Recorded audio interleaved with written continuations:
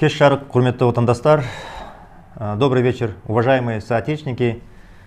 Я сегодня хочу выступить по поводу заявления прокуратуры, неких экспертов этой власти, которые заявили, что якобы смерть Агадил наступила все-таки э, вследствие сердечной недостаточности. Также прокуроры заявили, что неэтично и якобы нарушает нормы морали, что это видео распространили некие люди без согласия родственников. Но представьте себе, что этот режим, который нарушение любых норм закона, задерживает людей на улице, налетает в торговых центрах без применения, а, то есть без предоставления каких-либо документов, без каких-то опознавательных знаков, что это полиция, не имея на руках постановления судов, они захватывают людей, вот как Камилу Шаканову вчера, и удерживают в машине, потом везут в РОВД, не предъявляя никаких ни обвинений, никаких доказательств, потом без оформления какого-либо протокола отпускают. И вы знаете, что Регулярно это происходит, когда люди выходят на митинг, сотнями задерживают, потом отпускают, держат их какое-то время, никакие протоколы реально не составляются. И вот режим, который нарушает сплошь рядом законы, который отправляет в тюрьмы, просто прямо нарушая нормы закона, нормы Конституции, вдруг заговорил о законности, о морали и этике. Когда десятки тысяч сотрудников не сотрудников, а точнее говоря, членов партии Нуратан, по самим же признаниям партии Нуратан, людей, работающих во власти, осуждены за коррупционные преступления, изгнаны из самой партии Нуратан. И вот представьте, что один из представителей этой власти, прокурор, заявляет о морали и этике. То есть это просто ну, уму непостижимо смотреть на бандитов в форме, который рассуждает о морали и об этике. Что я хотел бы сегодня в своем эфире озвучить? Я, в принципе, и ранее говорил, что это убийство преднамеренное, но сегодня я хочу добавить, что это не просто преднамеренное убийство, это убийство заранее заготовленное. Чтобы вы все понимали, полиция в нашей стране это просто как бы собаки собаки Комитета национальной безопасности. Это их хозяин Нурсултан Назарбаев, это понятно. Но дергает их за поводок, стравливает, дает команды Комитет национальной безопасности, который прячется где-то в кустах. Но вы все должны понимать, такие, такие задержания, политические действия, политические суды, все осуществляет и управляет Комитет национальной безопасности. Рулит Комитетом национальной безопасности Карим Масимов, а, он бывший дважды премьер-министр, он ближайший помощник Нусултана Назарбаева, как он все время говорит, я ваш вечный помощник. Он через своих доверенных лиц управляет десятками миллиардами Нурсултана Назарбаева. Это его правая рука. И он же является представителем группировки Тимур Кулебаев и его команда, в котором Карим занимает ключевую роль.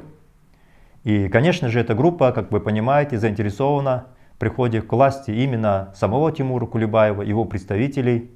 И между э, семьей Нурсултана Назарбаев существует конкуренция за власть между Даригой и Тимуром Кулебаевым.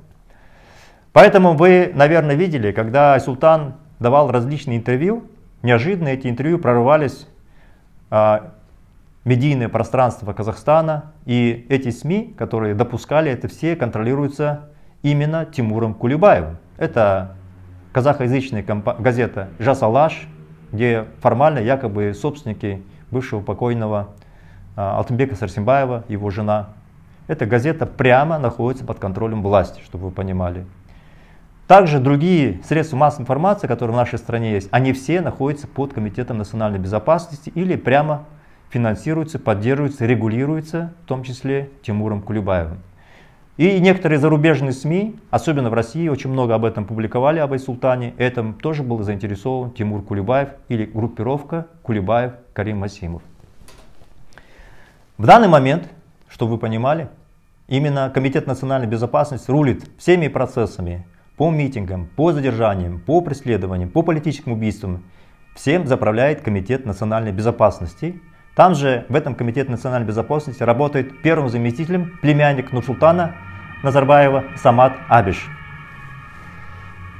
Итак, я как человек, прошедший все эти испытания, пытки, отравления, я прекрасно знаю, как происходит процесс избиения.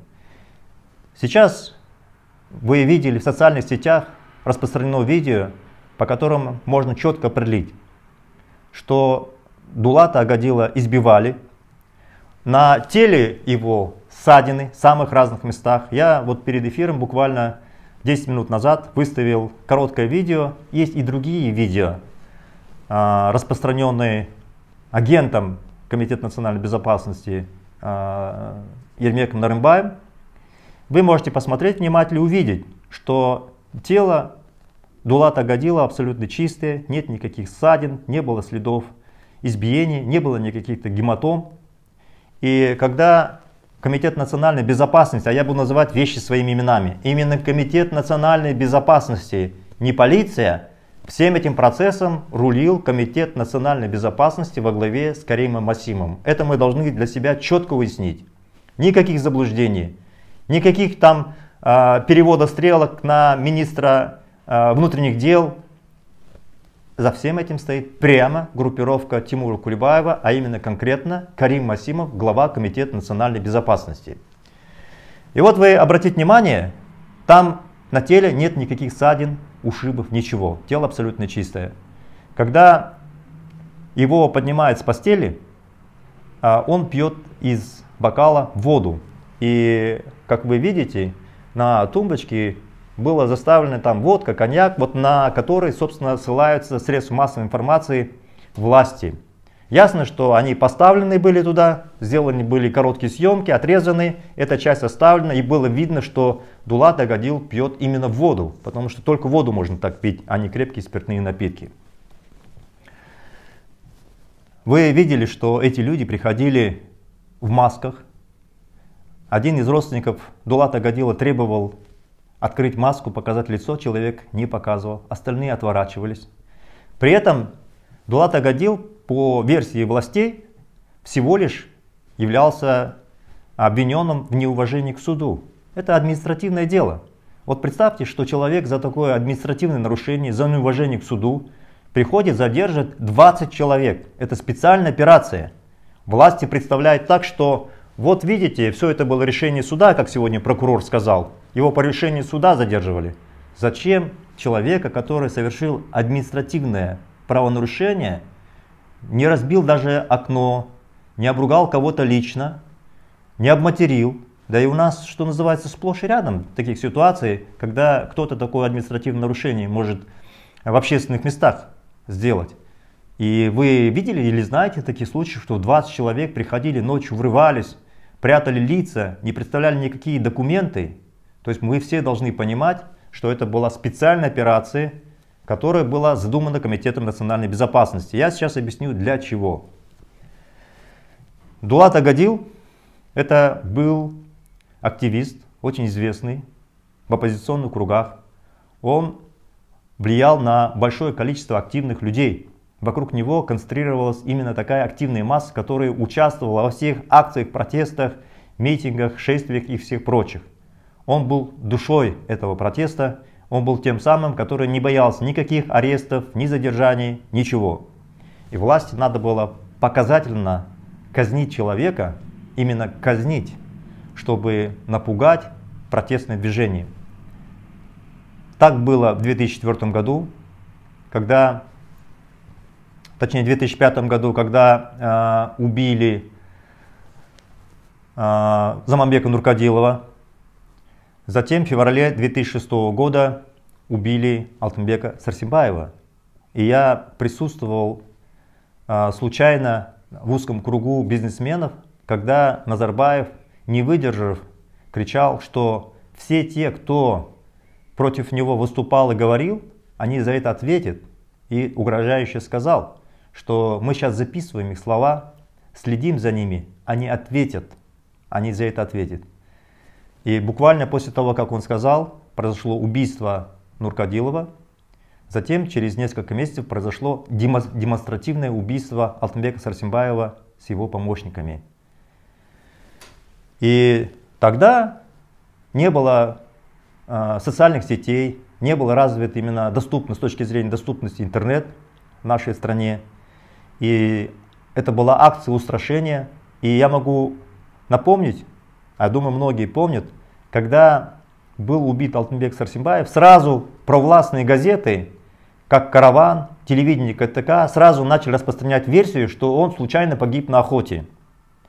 А когда убили Замабека Нуркадилова, сразу же Комитет национальной безопасности выбросила версию, притом не было никаких расследований на тот момент, ни экспертизы, ничего, выбросили две версии. Первая, что он покончил жизнь самоубийством, это произошло буквально немедленно. То есть это мне просто позвонили, сообщили, что вот сейчас убит Замамбек Нуркадилов, и уже буквально через короткое время, несколько минут, средства массовой информации начали распространять информацию, что он покончил жизнь самоубийством. Собственно, что и дали э, режим и выдал в качестве экспертизы. Затем была параллельная версия, что якобы его убила его жена э, Махпал, которая якобы с ним поссорилась.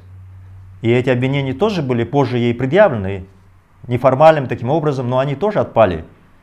В этот раз, когда власть на сайте КМБ заявила, по сути дела, а, это Тенгри News, его контролирует прямо Карим Асимов, глава Комитета национальной безопасности, что умер от, якобы от сердечной недостаточности Дулат Агадил, было четко заявлено, что он был, э, скажем, предварительно э, ну, выпил человек, что называется, средней тяжести опьянения, как они заявили.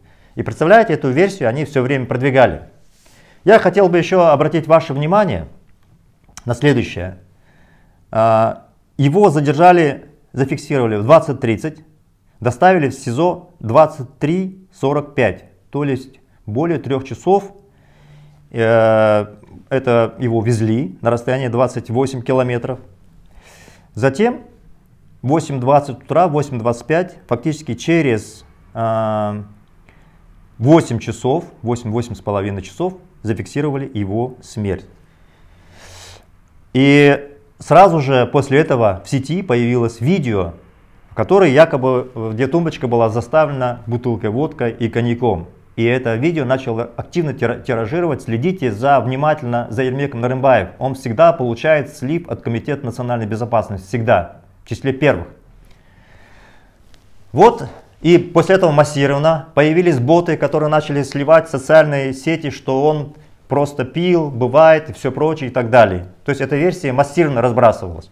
Далее обратите внимание, что в день его смерти действовала активно, масштабно именно полиция. Они, а, вот у меня сейчас информация, около морга было не менее 200 человек полицейских. А, возле ИВС, а, возле полиции, все прочее, были десятки автозаков. Они все, все готовились. В течение дня, когда были объявлены, было объявлено о смерти Дулата Гадила, шли непрерывно задержания органами полиции тех людей, которые выходили на протест. То есть вся эта машина была заранее подготовлена. Я не случайно вам напоминаю тот период, когда был убит Нуркадилов и Алтынбек Сарсимбаев. Тогда действительно это был акт устрашения, и я могу сказать, и я думаю, что все те, кто были свидетелями и знают, как выстраивалась оппозиционная борьба, какие партии существовали, могут сказать, что действительно многие ушли из политики, они испугались, решили заняться чем-то другим и прекратить заниматься политической деятельностью. Фактически в тот момент реальная позиция, которая занимала постоянно, реально э, была оппонентом власти, это осталась незарегистрированная партия Алга ДВК и коммунистическая партия под руководством Сереболсына Абдильдина. Вот, собственно, две политические организации. Остальные начали, легли на дно, типа УСДП, Азад, э, Ураз Жандосов, который был членом ОСДП или Нахзахжол ушел из политики, другие тоже. Также исчез тот самый Жукеев, который сейчас находится ДПК. То есть я могу сказать, что эта акция действительно повлияла, и в связи с тем, что я активно участвовал в политической жизни страны, финансировал практически всю оппозицию, встречался с разными лидерами общественного мнения, я видел, что люди запуганы. Лидеры этих партий все были запуганы. Тогда это повлияло, действительно, э, сбили протестный потенциал. В 2012 году была ликвидирована после событий в Женозене последняя оппозиционная партия, пусть даже не зарегистрирована, Алга ДВК, Козлов. Лидер этой партии был посажен в тюрьму. Э, и разные активисты преследовались. Собственно, после 2012 года произошла тотальная зачистка оппозиционного пространства. Это все вот было инерция запугивание и преследование, расстрелы в Женовзене. Это была политика, которая э, сработала в тот момент. Но что власть не учла? За последние два года я могу сказать уверенно, что сознание наших граждан кардинально изменилось. Если раньше Назарбаева боялись критиковать, выступать, вы сейчас сплошь и рядом видите шалкет.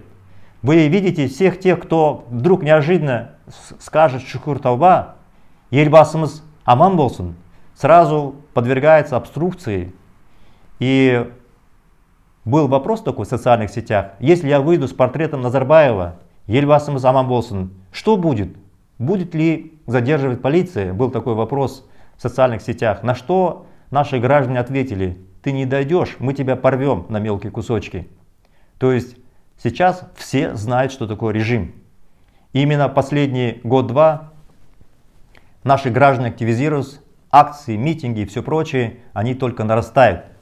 И вот чтобы сбить этот накал, общественный настрой против власти, режим Назарбаева руками главы Комитета национальной безопасности решил применить старый рецепт, выбрать жертву, жертву показательную, того, который, которого знали, который являлся по сути дела, знаменем оппозиции именно в, круг, в определенных кругах в Астане, который был бесстрашный, и задача была запугать.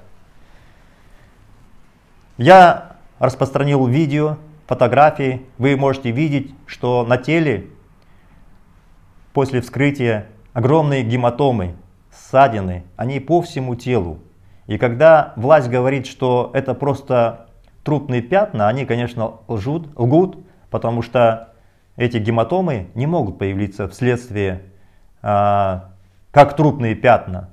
Эти ссадины, они тоже появились в результате избиения. Вы видели, что кисти рук у него абсолютно черный. И если кто-то говорит, что это связано было с тем, что это краска дактилоскопии, они ошибаются, потому что черная у него и сверху. Вы же понимаете, что сверху никто краску не прикладывает на бумагу и не фиксирует. Это было очевидно связано с тем, что его подвешивали на наручниках, и кровь не поступала в верхнюю часть рук, его избивали. И если вы посмотрите, левая и правая часть, бока у него отбиты. Именно так пытали меня, подвешивали на э, вверх руки и начинали методично бить по корпусу слева и справа, бить, бить по ногам, потому что это очень болезненно. Я как человек, который прошел эти пытки, я это прекрасно вижу и понимаю. И ясно, что Дулат Агадил был не тем человеком, которого можно было запугать и просто избить, и потом говорить, чтобы ты это не делал больше. Нет, Дулат Агадил бы все равно, все равно бы все это озвучил. Поэтому Смерть Дулата Агатил, Агадила была заранее подготовлена как акция устрашения, как было Замамбеком Нуркадиловым, так же как Алтынбеком Сарсимбаем. Это была акция устрашения, чтобы остановить вал сопротивления этому режиму. Это однозначно, чтобы вы понимали, и таких фактов будет много. Сейчас власть говорит, что некие экспертов они готовы привлечь из Великобритании. Я могу вам сказать, что в Англии, когда шла борьба со мной, через суды, когда их лоббист Тони Блэр, бывший премьер-министр, когда его брат Уильям Блэр принимал решение по поводу меня, там они сформировали огромную команду, которая занимается слежкой, у них сильное лобби в средствах массовой информации. Тотальный подкуп идет на разных уровнях. Они близки с разными принцами, членами Королевского дома и все прочее. Это общеизвестно. И этот Тони Блэр, в частности, получил десятки миллионов долларов, чтобы он лоббировал. И несколько лет назад, как вы помните, он принес извинения, что он лоббировал Нурсултан Назарбаев и сказал, что он прекращает совместную деятельность с этим режимом. Поэтому вы должны знать, что какие-то эксперты, которые приедут якобы из Великобритании, они будут заранее подготовлены, куплены, они приедут по той версии, которая уже заранее подготовлена режимом. Это было, кстати говоря, и с Искандером Ерембетовым, которого тоже избивали, и он даже и не знал, появились некие эксперты из Великобритании, которые на самом деле прямо работают на режим. Поэтому если уже говорить о экспертах, то эксперты здесь должны быть привлечены действительно международные. Сейчас Соединенные Штаты Америки заявили, что необходимо расследование. Должны быть представители из Европы, Европейского парламента. Вот миссия сейчас уехала из Казахстана. Это было фактически сделано при депутатах Европейского парламента, которые увидели реальное лицо этого режима.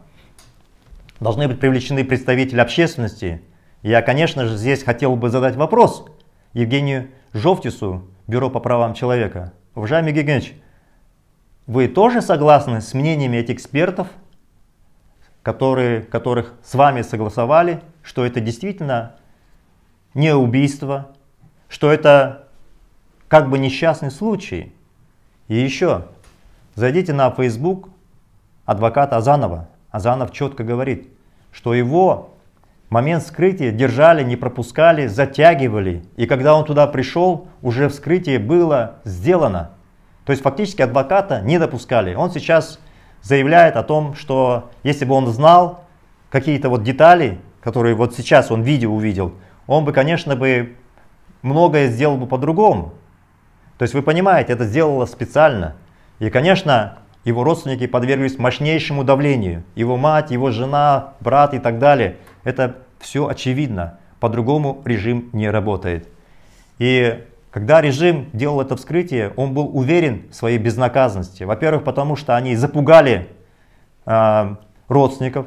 Во-вторых, они были уверены, что это видео нигде не появится. В-третьих, они знали, что выполняет команду Комитет национальной безопасности.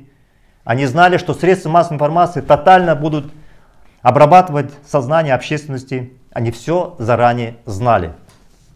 Наша задача сейчас всех тех, кто участвовал в его задержании, каким-то образом вообще в этом процессе задействован, мы должны знать всех поименно, мы должны знать их лица. Они все должны быть как свидетелями, как подозреваемыми, так и теми людьми, которые понесут прямую уголовную ответственность за преступления, которые совершили, убили Дулата Агадила.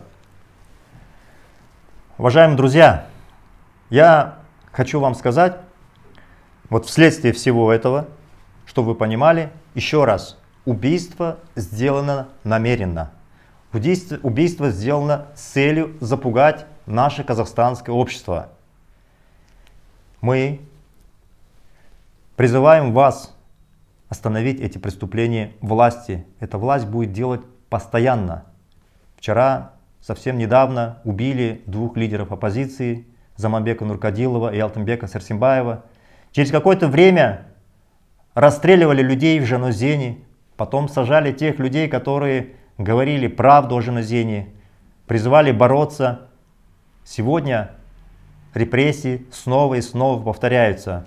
Люди, так называемая полиция, представитель Комитета национальной безопасности нарушают закон, захватывают людей в торговых центрах, на улицах, без какого-либо официального разрешения, предоставления документов и так далее, вы видите, что это мафиозное государство действует бандитскими способами. И когда эти бандиты говорят о морали и этике, когда они говорят, что якобы родственники против, когда под давлением этих бандитов в погонах родственники начинают писать жалобы, что без их разрешения все это было сделано, вы должны все прекрасно понимать, все это осуществляет бандитское государство, и она должна понести наказание.